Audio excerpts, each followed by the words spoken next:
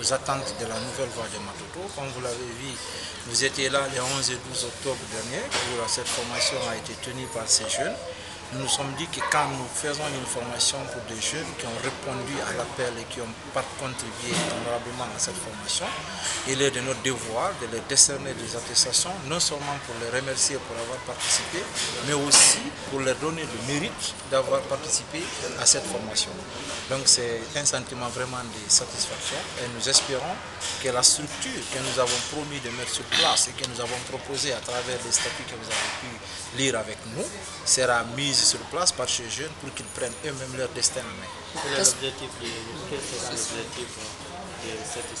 Euh, bon, En fait, euh, la nouvelle voie a réfléchi pour dire que c'est vrai qu'il y a plusieurs partis politiques, il y a plusieurs jeunes qui évoluent dans ces partis politiques. Il est important que désormais ces jeunes puissent se retrouver ensemble dans une seule entité pour défendre les valeurs de la République, les valeurs de la commune qui sont l'intérêt seulement de la population. Parce que nous pensons que chacun de ces jeunes dans leur parti sont en train d'œuvrer pour l'intérêt de la population. Peut-être que c'est les approches qui diffèrent.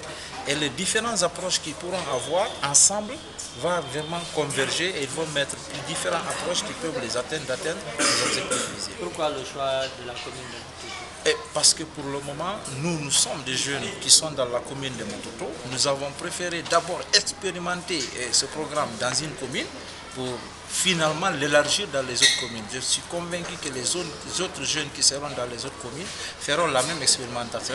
Et comme vous l'avez vu, la nouvelle voie de Matoto, ce n'est pas la voie, mais c'est le chemin, le nouveau chemin.